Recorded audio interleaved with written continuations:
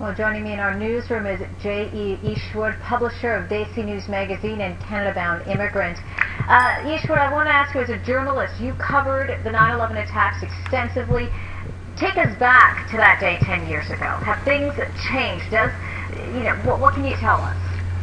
I remember that day very clearly, Angie. It was a bright, sunny morning, and I was at my desk working, and a call from a friend and I said, uh, "Go watch the TV." And I turned on the TV, and there I saw uh, the first of the twin towers uh, in flames. And I thought the first thought that crossed my mind on that day was, uh, "Please, please, let this not be by a Muslim." Uh, because uh, I come from a country, India, and uh, it's uh, I've seen uh, many many years of uh, communal disharmony in that country, and people, Hindus versus Muslims, Sikhs versus the others, that have that has gone on and on and on for many years. I knew exactly in that instant what this would entail for for for the entire Muslim community if it was done by Muslims. Oh, so, sorry to interrupt you there, but if we look at sort of the bigger picture, how would you say things have changed now, uh, 10 years ago?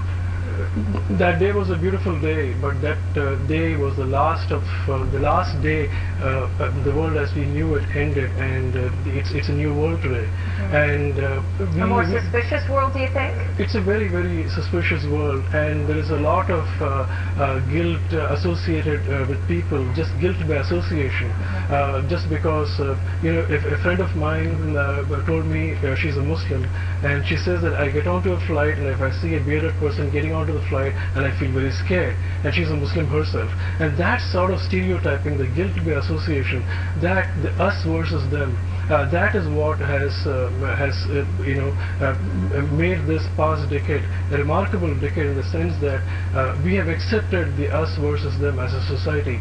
And and we tend to tar everybody with the same brush. Just the other day even our prime minister Stephen Harper he talk, talked about Islamicism being the main threat that Canada faces. What he actually meant probably was that terrorists and the terror terror related activities.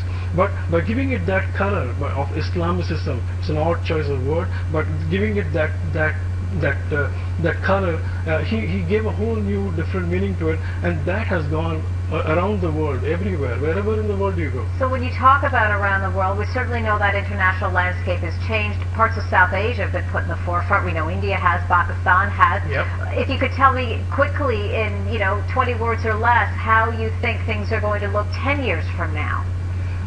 10 years from now, if we continue to polarize our society, the us versus them, uh, I think that we will drive more and more and more young people uh, into the arms of the very recruiters of terror. I think that uh, we're going to, in 10 years from now, if things, if, if our fundamental thinking doesn't change, I think we will find more uh, uh, Canadians participating in uh, in in, in, terror attacks in Somalia, in the Middle East, in India, in Afghanistan. You will, their numbers are increasing, and uh, just by buying more and more armaments and just by declaring war on terror, we are not going to end this. It is by inclusion.